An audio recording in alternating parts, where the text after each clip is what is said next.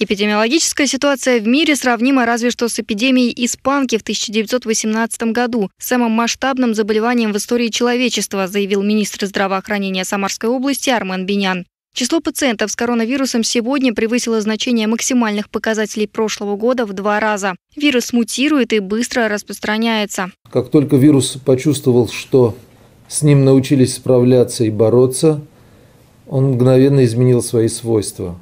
Появилось несколько штаммов, несколько разновидностей вируса, что обеспечило, обусловило больший оборот вируса в природе. Он стал быстрее передаваться от человека к человеку, он стал проявляться более тяжелыми формами заболевания.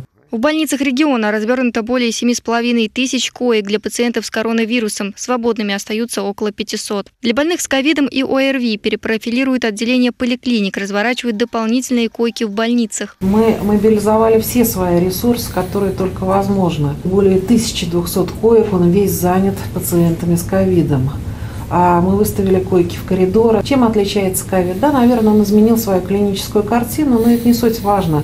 Наверное, если мы помним с вами в предыдущие волны а, мы начинали с того, что э, терялось обоняние, люди переставали что-то чувствовать. Сейчас, наверное, этот признак ну, в большинстве своем случаев ушел.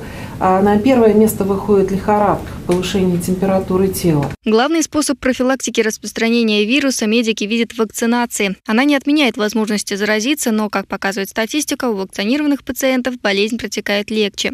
Сегодня прививку можно делать и беременным, и кормящим мамам, говорят врачи. Более того, при планировании беременности прививка обязательна, чтобы исключить заражение. Основными методами защиты помимо вакцинации остаются соблюдение гигиенических мер, чаще мыть руки, использовать антибактериальные средства, избегать массовых скоплений людей и соблюдать социальную дистанцию. Важно также использовать средства индивидуальной защиты как в помещениях, так и транспорте. Мария Левина, Константин Головин. События.